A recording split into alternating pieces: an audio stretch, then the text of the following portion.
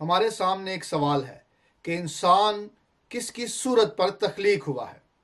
اگر ہم تخلیق کو مانتے ہیں، کریشن پر بلیو کرتے ہیں کہ یہ سب کچھ خدا نے خلق کیا ہے، تو اس میں اشرف المخلوقات یعنی انسان کس کی صورت پر ہے؟ یقیناً اس سوال کا جواب کتاب مقدس میں درج ہے کہ انسان خدا کی صورت پر بنا ہے۔ لیکن اس بیان کی وضاحت بھی ہونی چاہیے کہ آخر اس صورت سے کیا مراد ہے۔ آخر اس بات کا کیا مطلب ہے کہ خدا نے انسان کو اپنی صورت اور شبی پر بنایا ہے؟ بڑا سوال تو یہی ہے، پیدائش کی کتاب میں جہاں درج ہے کہ خدا نے کہا، آؤ ہم انسان کو اپنی صورت اور اپنی شبی کی مانند بنائیں۔ اس بات کا کیا مطلب ہے؟ کیا انسان بدنی طور پر خدا کی صورت پر ہے؟ تو پھر جانور اور چپائے کس کی صورت پر ہیں؟ اور سوال یہ بھی ہے کہ ہم کس طرح سے خدا کی صورت پر ہو سکتے ہیں؟ جبکہ خدا روح ہے یعنی غیر مادی۔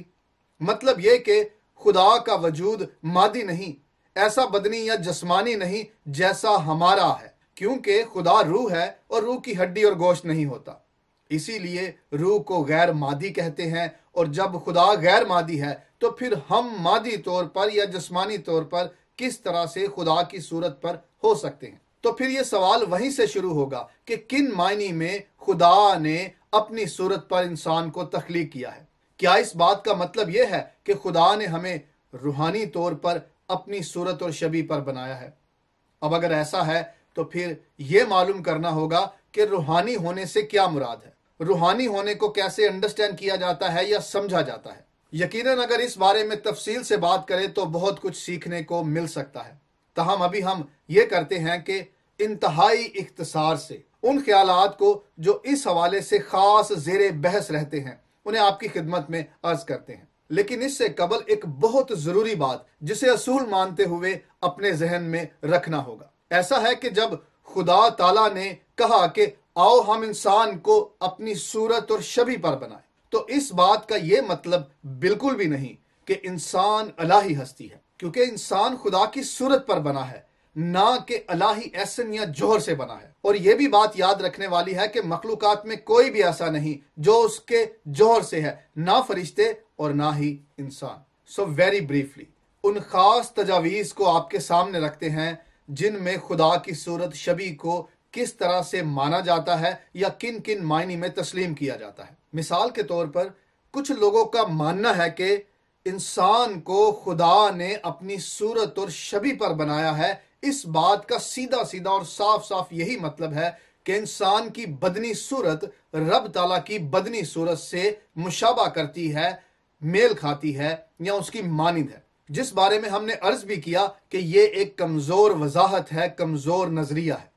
اور دوسری جانب یہ رائے دی جاتی ہے کہ انسان خدا کی صورت پر بنایا گیا ہے۔ اس بات سے مراد روحانی صورت۔ اب روحانی صورت کیا ہوتی ہے، اس بارے میں جاننا ہوگا۔ تو پھر ہی معلوم کر پائیں گے کہ یہ تجویز کہاں تک معقول ہے یا قابل قبول ہے۔ مزید کہیں تو علم الہیات میں ایک اور نظریہ بھی پیش کیا جاتا ہے، جس میں خدا کی صورت سے مراد خدا کی صفات ہے۔ یعنی جب خدا نے انسان کو اپنی صورت پر پیدا کیا، تو اس سے مراد خدا تعالیٰ نے انسان کو اپنی صفات پر پیدا کیا۔ جیسے ہم کہتے بھی ہیں کہ کسی انسان کی صفات اس کی صورت کو یا اس کی سیرت کو واضح کرتی ہیں۔ سو سیرت یعنی صفات، خوبیاں انسان کی صورت بھی مانی جاتی ہیں۔ اس نظریے کے حامی اس بات کو بیان کرتے ہوئے وضاحت کرتے ہیں کہ خدا کی دو طرح کی صفات ہیں۔ یعنی کمیونیکیبل ایٹیبیوٹس اور ان communicable attributes of God communicable attribute یا صفات وہ صفات ہے جن میں رب تعالیٰ دوسروں کو اپنے ساتھ شریک کرتا ہے۔ یعنی ان صفات کو اس نے دوسری مخلوقات میں منتقل کیا ہے یعنی فرشتوں اور انسانوں میں۔ جیسے کہ علم یا نالج ریزن یا وجہ یا سبب معلوم کرنا، سمجھنا، بوجھنا، قائل کرنا، عقل سے کام لینا، حکمت، صداقت، منصف، پاکیزگی، پیار، محبت، رحم، مہربان ہونا۔ سو یہ وہ صفات ہیں جن کو خدا تعالیٰ نے انسان میں منتقل کر کے اپنے ساتھ شامل کیا ہے یا شریک کیا ہے۔ اور پھر دوسری جانب وہ صفات ہیں جن کو انکمیونیکیبل ایٹیبیوٹس کہا جاتا ہے، جیسے کہ خدا قادر مطلق ہے۔ یعنی وہ جس کے پاس سب کچھ کرنے کی قدرت اور اختیار ہے، اور خدا ہر جگہ حاضر و ناظر ہے۔ وہ ہما جا ہے مطلب جس کے لیے نہ ماضی اور نہ مستقبل ہے۔ اس کے سامنے سب کچھ حال ہی حال ہے پریزنٹ ہے۔ اس خالق خدا کے سامنے پاسٹ اور فیوچر کچھ نہیں۔ کیونکہ وہ ہر زمانے میں یکساں حاضر اور ناظر موجود ہے۔ وقت زمانے عہد، ارا، دور، یہ سب اس نے مخلوقات کے لیے بنایا ہے۔ اس پہ وقتوں اور زمانوں کا اطلاق نہیں ہو سکتا۔ اور پھر یہ بھی ہے کہ ہم مانتے ہیں کہ خدا سب کچھ جاننے والا ہے۔ یعنی کچھ بھی ایسا نہیں جس کا اس کو علم نہ ہو۔ ایک ہی ہستی ہے جو سب جانتی ہے۔ یہاں تک کہ انسان کے خیالوں اور ارادوں کو بھی۔ سو یہ وہ صفات ہیں جن میں رب تعالیٰ کے ساتھ کوئی بھی مخلوق شریک نہیں۔ نہ تو فرشتے اور نہ ہی انسان۔ چنانچہ خدا کی صورت سے مراد وہ صفات جو منتقل ہو سکتی ہیں، سو اس نے وہ صفات جب انسان میں منتقل کی تو اسے اپنی صورت عطا کی، اپنی شبی عطا کی۔ بس یوں کہا جا سکتا ہے کہ خدا نے انسان کو اپنی صفات دے کر اپنی صورت دی۔ اس بارے میں وائن گروڈم نے اپنی کتاب سسٹمیٹک تھیولوجی میں تفصیل سے بات کی ہے۔ اس بات کو مزید آگے بڑھائیں تو مفسرین جو علماء کرام ہیں اس بارے میں بہت کچھ بیان کرتے ہیں۔ جیسے کہ بعض کے نزدیک ہم انسان خدا کی صورت پر بنے ہیں، یہ ایک میٹافور ہے، جس سے مراد خدا کا جلال ہے۔ کیونکہ خدا کا جلال خدا کی صورت کو بیان کرتا ہے یا صورت کے معنی میں بھی لیا جاتا ہے، تو اس طرح سے خدا کا جلال زمین پر انسان ظاہر کرنے والا ہے۔ سو، انسان کو زمین پر خدا کا نمائندہ مانتے ہوئے اسے اس کی صورت یا اس کے جلال کا پرتاؤ مانا جاتا ہے۔ ایسا ہے کہ اس بارے میں کئی دلیلیں دی جا سکتی ہیں کہ خدا کا جلال خدا کی صورت کے معنی میں استعمال کیا جاتا ہے یا اس کے چہرے کو ریپرزینٹ کرتا ہے۔ اس کے دیدنی ظہور کی علامت مانا جاتا ہے۔ یہودی تصورات میں اور پرانے عہد نامہ کی روشنی میں اس بات کو جا بجا دیکھا جا سکتا ہے۔ سو اس بات کو اگر ایک جملے میں سمرائز کریں تو انسان زمین پر خدا کے جلال کا اظہار ہے اور انہی معنوں میں انسان خدا کی صورت پر ہے۔ اس بارے میں ایک اور وضاحت ہے، اسے بھی نظر انداز کر کے ہم نہیں جا سکتے۔ صورت اور شبی سے مراد پروردگار کا اتھارٹیٹیو اسپیکٹ ہے یعنی حاکمانہ اختیار۔ جو اس نے زمین پر انسان کو عطا کیا ہے۔ اب ایک اور نظریہ آپ کی خدمت میں عرض کرتے چلیں، جو خاص یہودی مفسرین کی کتابوں میں درج ہے۔ ان کے مطابق جہاں پر لکھا ہے کہ خدا نے کہا کہ آؤ ہم انسان کو اپنی صورت اور شبی پر بنائے وہاں پر خدا کے لیے لفظ ایلوہیم ہے۔ اور ہم جانتے ہیں کہ لفظ ایلوہیم کے مختلف استعمال ہیں، کیونکہ یہ ایک ٹائٹل ہے جو سچے خدا کے لیے بھی استعمال ہوتا ہے اور جھوٹے خداؤں کے لیے بھی استعمال ہوتا ہے۔ پھر اس لفظ کو انسانوں کے لیے بھی استعمال کیا گیا ہے اور فرشتوں کے ایک خاص گروہ کے لیے بھی استعمال کیا گیا ہے۔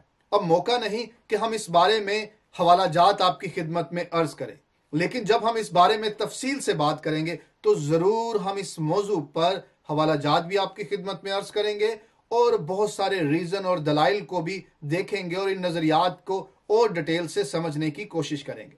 سو ابھی ہم نے عرض کیا کہ بہت سارے یہودی مفسرین اس بارے میں یہ رائے پیش کرتے ہیں کہ پیدائش کی کتاب میں جہاں پر یہ درج ہے کہ خدا نے کہا، آؤ ہم انسان کو اپنی شبی اور صورت پر پیدا کریں، وہاں پر لفظ الوہیم خالی خدا کو نہیں، بلکہ فرشتوں کو ریپرزینٹ کر رہا ہے یا فرشتوں کے لیے استعمال ہوا ہے۔